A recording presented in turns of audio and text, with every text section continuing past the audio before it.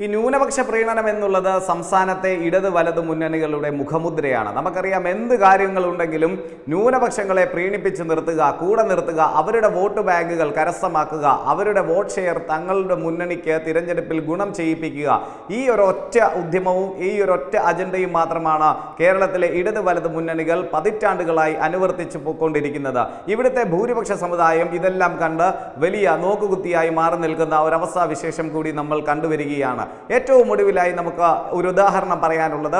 ദേശീയ പൗരത്വ ഭേദഗതി നിയമവുമായി ബന്ധപ്പെട്ട് കേരളത്തിൽ അരങ്ങേറുന്ന പ്രക്ഷോഭങ്ങളെക്കുറിച്ചാണ് സംയുക്ത സമരവും പാരയുമായി ഇടത് വലത് മുന്നണികൾ തമ്മിൽ കളിച്ചുകൊണ്ടിരിക്കുകയാണ് കാരണം കുരങ്ങനെ കൊണ്ട് ചുടുചോറ് വാരിക്കുന്നത് പോലെയാണ് ഇവിടുത്തെ ഭൂരിപക്ഷ സമുദായങ്ങൾ ഇതെല്ലാം കണ്ടുകൊണ്ടിരിക്കുന്നത് നമുക്കൊരു കാര്യം മനസ്സിലാക്കണം രാഷ്ട്രീയ കേവലം രാഷ്ട്രീയ ലാഭത്തിന് വേണ്ടി മാത്രമാണ് സംയുക്ത സമരമെന്ന് ആദ്യം പറയുന്നു പിന്നെ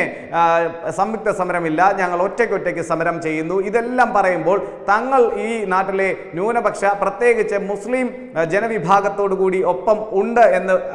സ്ഥാപിച്ചെടുക്കുവാനുള്ള തത്രപ്പാടിലാണ് ഇടതും വലതും നമുക്കതിൻ്റെ ഒരു കാര്യം മാത്രം അറിയാം അതുകൊണ്ട് തന്നെയാണ് തിരുവനന്തപുരത്ത് നടന്ന ഒരു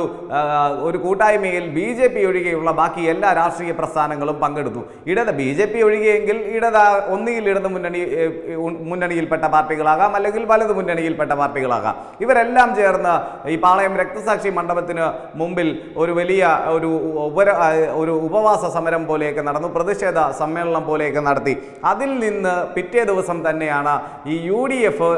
K P C C president Mullappally Ramachandran പറയുന്നു ഇടതുപക്ഷവും സമരവുമായി യോജിച്ച് സമരം ചെയ്ത് ചെയ്യുന്നതിനോട് എനിക്ക് വ്യക്തിപരമായ താല്പര്യക്കുറവുണ്ട് അദ്ദേഹത്തെ തള്ളിയും കൊണ്ടും കുറേ ആളുകൾ രംഗത്ത് വന്നിരുന്നു ഇന്ന് അദ്ദേഹത്തെ വിമർശിച്ചുകൊണ്ട് മുഖ്യമന്ത്രി പിണറായി വിജയനും രംഗത്ത് വന്നിട്ടുണ്ട് പക്ഷേ ഇതെല്ലാം ആത്യന്തികമായി ഒരു ഷോ ഓഫ് ആണ് ഇടത് വലത് മുന്നണികളുടെയും ആ പാർട്ടികളുടെ നേതാക്കന്മാരുടെയും ഒരു ഷോ ഓഫ് ജനങ്ങളുടെ കണ്ണിൽ പൊടിയിടുക ചില തെറ്റിദ്ധരിച്ച് നിന്നിട്ടുള്ള ഭൂരിപക്ഷ സമുദായാംഗങ്ങൾക്ക് ഇടയിൽ ഒരു വിള്ളൽ ഉണ്ടാക്കുക മാത്രമല്ല ന്യൂനപക്ഷ സമുദായങ്ങൾക്ക് ഒരു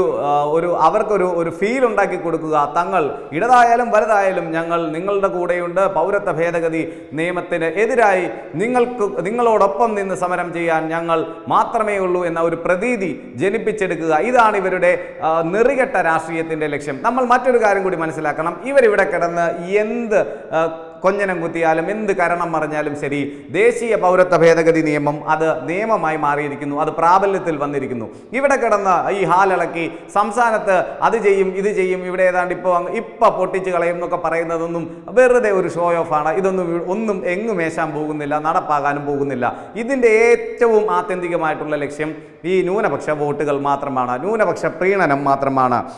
പൗരത്വ ഭേദഗതി നിയമത്തിനെതിരെ സംയുക്ത സമരവും അതിനോടൊപ്പം തന്നെ പരസ്പരം പാരയുമായി ഇടതു മുന്നണിയും വലതു ഉണ്ട് അടുത്ത വർഷം നടക്കാനിരിക്കുന്ന നിയമസഭാ തെരഞ്ഞെടുപ്പും ഈ വർഷം അവസാനമോ അവസാനത്തോടെ നടക്കാനിരിക്കുന്ന തദ്ദേശ സ്വയംഭരണ സ്ഥാപനങ്ങളിലേക്കുള്ള തെരഞ്ഞെടുപ്പും മുന്നിൽ കണ്ടു മാത്രമാണ് ഇത്തരത്തിലുള്ള കുരങ്ങനെ കൊണ്ട് ചുടിചോറ് വാരിക്കുന്ന തരത്തിലുള്ള ഈ നെറുകെട്ട രാഷ്ട്രീയ കളി ഇരു മുന്നണികളും കളിക്കുന്നത് എന്നതാണ് നമുക്കിപ്പോൾ നിങ്ങളോട് പറയാനുള്ളത് ഇതിൻ്റെ ഭാഗമായാണ് നമ്മുടെ മുഖ്യമന്ത്രി ഇവിടെ വലിയ ഒരു കാര്യങ്ങളൊക്കെ സംഭവിച്ചു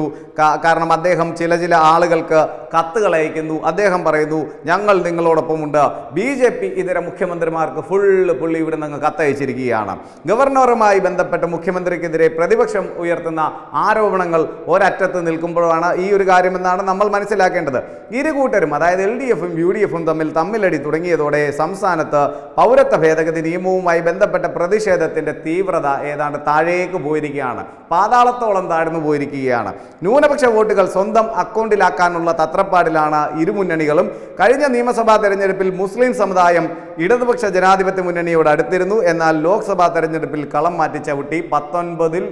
ഇടത്തും അവർ യു ഡി എഫിനൊപ്പം നിന്നു പക്ഷേ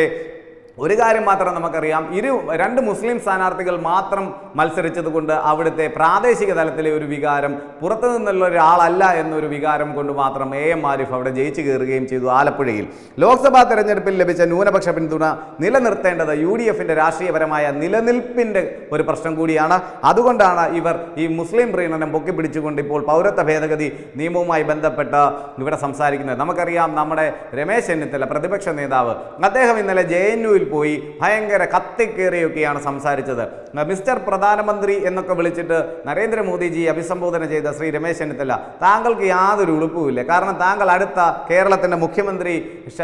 ആകാൻ വേണ്ടി ഷർട്ടൊക്കെ തയ്പ്പിച്ച് വെച്ചിരിക്കുന്ന ഒരാളാണ് ആ ഷർട്ട് അവിടെ മടക്കി മിക്കവാറും ആ അലമാരയിൽ തന്നെ വെക്കേണ്ട ഒരു അവസ്ഥ വരും കാരണം ഇങ്ങനെ കോൺഗ്രസിൻ്റെ അവസ്ഥ പോയാൽ താങ്കൾ താങ്കളുടെ സംഘടനയ്ക്ക് ആദ്യമായിട്ടൊരു കൃത്യമായ ഒരു കമ്മിറ്റി ഉണ്ടാക്കിയെടുക്കൂ എന്നിട്ടാട്ടെ നമുക്ക് പ്രധാനമന്ത്രിയെ ചീത്ത പറയേണ്ട ആ ഒരു പരിപാടിയിലേക്കൊക്കെ കിടക്കാം മറ്റൊരു കാര്യം ഇവിടുത്തെ എൽ ഡി എഫിൻ്റെ കാര്യമാണ് കാരണം കേരളത്തിൽ അവശേഷിക്കുന്ന ഏക ഒരു പൊട്ടാണ് കേരളം ആ ഒരു പൊട്ട് കൂടി മാഞ്ഞു പോയി കഴിഞ്ഞാൽ കേര ഇന്ത്യ മഹാരാജ്യത്ത് സി പി എം അല്ലെങ്കിൽ ലെഫ്റ്റ് എന്ന് പറയുന്ന ഒരു സ്ഥിതിവിശേഷം ഇല്ലാതായി വരും എന്നത് കൃത്യമായിട്ട് മറ്റാരെക്കാളും അറിയാവുന്നത് നമ്മുടെ മുഖ്യമന്ത്രി പിണറായി വിജയന് തന്നെയാണ് അപ്പോൾ കേരളത്തിലെങ്കിലും പിടിച്ചു നിൽക്കണമെങ്കിൽ ഇവിടുത്തെ ന്യൂനപക്ഷ വോട്ട് ബാങ്കുകൾ തങ്ങളോടൊപ്പം ചേർത്ത് നിർത്തണമെന്ന കാര്യം മുഖ്യമന്ത്രിക്ക് വ്യക്തമായി അറിയാം അതുകൊണ്ട് തന്നെയാണ് അദ്ദേഹം ഇമാതിരി കളിയൊക്കെ കളിക്കുന്നത് കഴിഞ്ഞ കഴിഞ്ഞ തവണ ശബരിമലയിൽ ആരാണ്ടൊക്കെ ഇങ്ങ് കയറ്റിക്കളയും എന്നൊക്കെ പറയുന്നത് നവോത്ഥാനം അദ്ദേഹത്തിന് മറ്റൊരു തരത്തിൽ ഈ ഓർത്തഡോക്സ് യാക്കോബായ സഭാതർക്കങ്ങളൊന്നും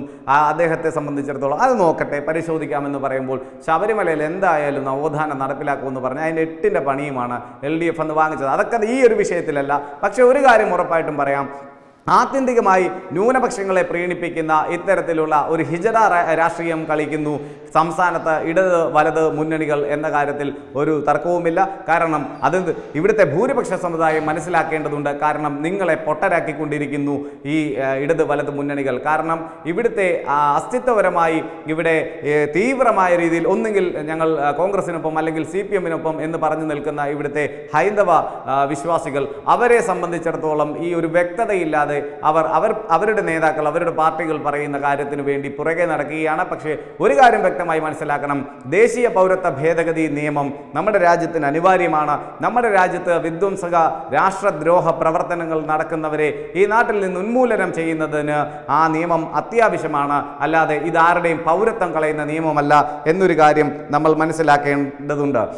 അതേപോലെ തന്നെ പരസ്പരം സംയുക്തമായി ചേർന്ന് സമരം ചെയ്യുമെന്ന് പറയുമ്പോഴും അങ്ങോട്ടും ഇങ്ങോട്ടും ചെളിവാരി എറിയുന്ന ഈ ഇടതു വലതു മുന്നണികളുടെ രാഷ്ട്രീയ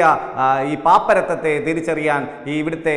ഹൈന്ദവ സമൂഹം തയ്യാറാകണമെന്ന ഒരു ഒറ്റ അഭ്യർത്ഥന മാത്രമാണ് നമുക്ക് ഇതിലൂടെ പറയാനുള്ളത്